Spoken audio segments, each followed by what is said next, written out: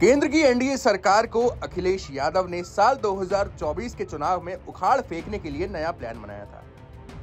इस प्लान को पीडीए नाम दिया गया। इसका मतलब है पिछड़ा दलित और अल्पसंख्यक अलायंस। अब बीएसपी सुप्रीमो मायावती ने अखिलेश यादव के इस प्लान की हवा निकाल दी।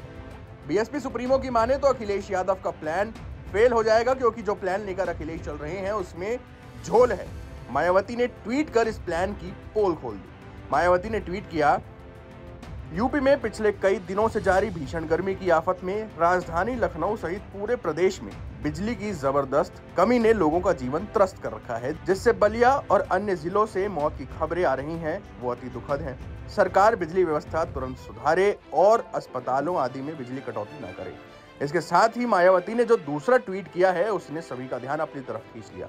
सपा द्वारा एनडीए के जवाब में पीडीए, यानी पिछड़े दलित और अल्पसंख्यक का राग इन वर्गों के अति कठिन समय में भी केवल तुकबंदी के सिवाय और कुछ नहीं है। इनके पीडीए का वास्तव में अर्थ, परिवार, दल और अलायंस है, जिस स्वार्थ में यह पार्टी सीमित है। इसीलिए इन वर्गों के लोग ज़रूर सावधान रहे।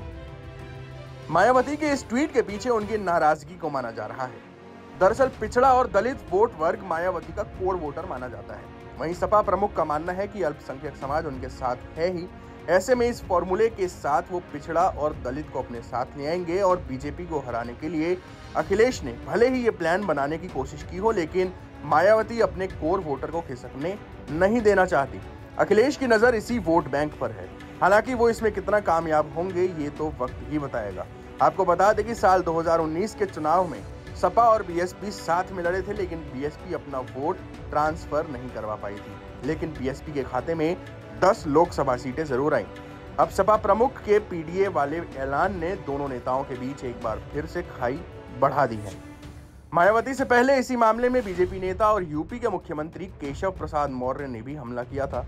केपी मौर्य ने कहा था कि पीडीए का मतलब पी से परिवारवाद, डी से दंगा और ए से अपराधियों का संघ है। इसीलिए उनका पीडीए वह नहीं, जो अखिलेश यादव बता रहे हैं। पिछड़े वर्ग ने उनको नकार दिया है। दलित उनको देख नहीं सकता, क्योंकि सत्ता में रहते हुए उन्होंने काफ़ी दमन किया है।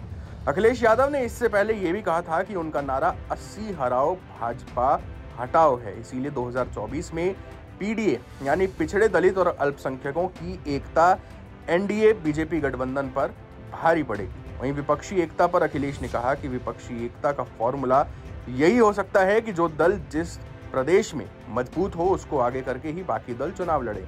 चुनाव और एकता के लिए बड़े दिल की ज़रूरत होती है। जो दल बीजेपी को हराना चाहते हैं, वे सपा का साथ देने में बड़ा दिल दिखाएँ। सपा का लक्ष्य बीजेपी को प्रदेश की सभी 80 सीटों पर हराने का है। जनता बदलाव चाहती है। Times Now Nav Bharat, digital originals की रिपोर्ट।